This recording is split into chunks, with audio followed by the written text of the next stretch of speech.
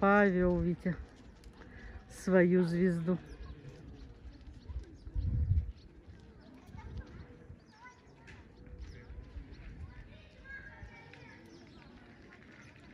Магда зашла, а тут каждый вечер один и тот же аттракцион. Магда заходит в вольер Дженни и не хочет потом идти в свой. А Дженни стоит вот здесь под дверью и ждет, когда Магда уйдет.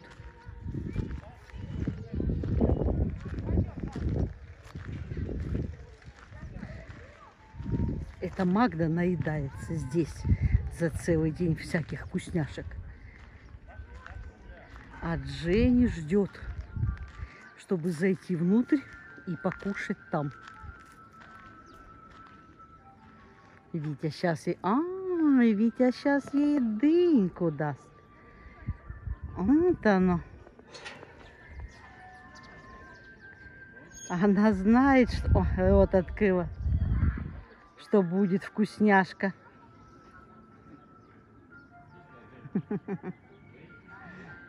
Уговаривает, пошли, пошли. Вот они нашли друг друга. Слон и человек. Просит, просит. Вот так скажи. У тебя точно, скажи, одна дынька была, Витя?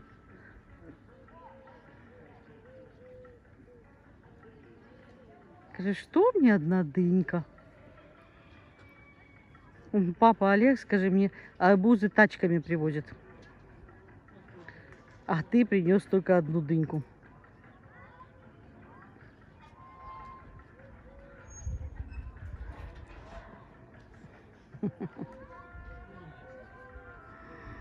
Вите надо завести, там как-то уговорить Магду перейти в свой вольер. Музыка такая, мне кажется, очень подходит для слонов. Та-та-та-там. Мне так нравится еще, когда Дженни приходит, видите, слоны. Э, мы вначале очень переживали, думали, что, в принципе, вот этот баннер просуществует где-то неделю. Это так, это даже при очень хорошем складе. Но вы видите уже сколько у нас слонихи, несколько месяцев, они вообще к баню даже не потянулись, нигде не порвали ни кусочек, никак. Наоборот, они подходят и общаются с этими слонами.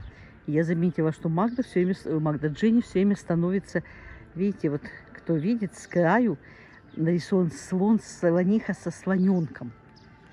И Дженни очень любит именно эту картинку. Она не была никогда мамой, но вот она подходит все время именно к этой картинке.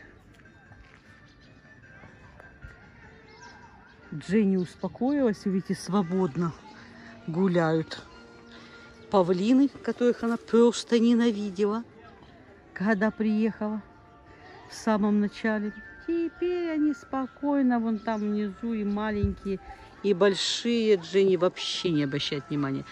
Даже как-то мы с ней, и то уже...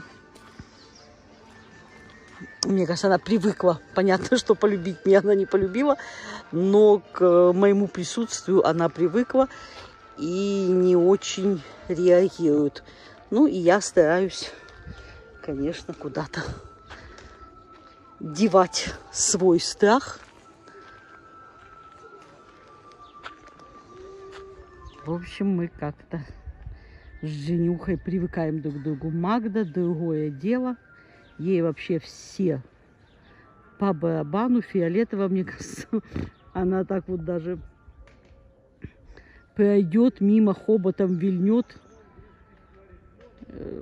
и вообще не поймет, что что-то произошло. Дженни нет, Дженни другая. Дженни, ты стоишь, слушаешь? Ушла Магда к себе в комнату или нет? Застыла, мне кажется. Дженни превратилась вся в слух. Она же слышит, что туда Магда переходит, когда из вольера в вольер внутри. Абсолютно сейчас они никак друг на друга не реагируют. Они научились жить отдельно. Возможно, они слишком долго жили вместе, рядом. Наверное, устали друг от друга. И поэтому им сейчас очень даже комфортно.